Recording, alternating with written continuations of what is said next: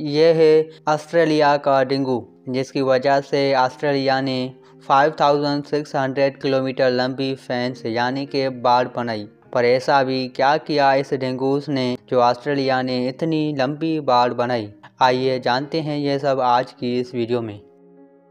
वैसे तो ऑस्ट्रेलिया अपनी मुनफरद जंगली हयातियात के लिए जाना जाता है और ऑस्ट्रेलिया की मशहूर मखलूक ये डेंगू हैं। जिनको आम जबान में कुत्ता कहा जाता है।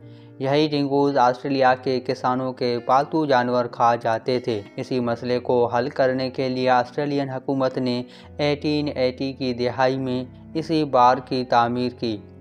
जो 5,600 किलोमीटर तक फैला हुआ है।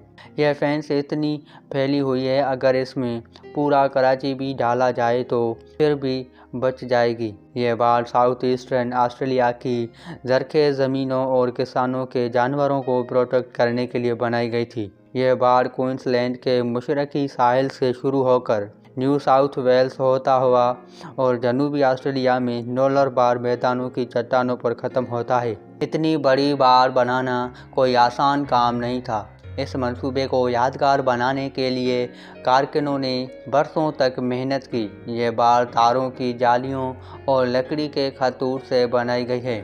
डेंगू फैंस न सिर्फ़ मवेशियों को डेंगू से बचाती है बल्कि आस्ट्रेलिया के माहौलियाती निज़ाम के नाजुक तोज़ुन को भी बरकरार रखती है।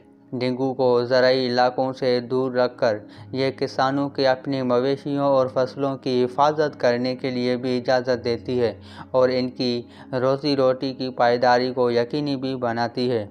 आपके प्यार भरे कमेंट्स का शुक्रिया।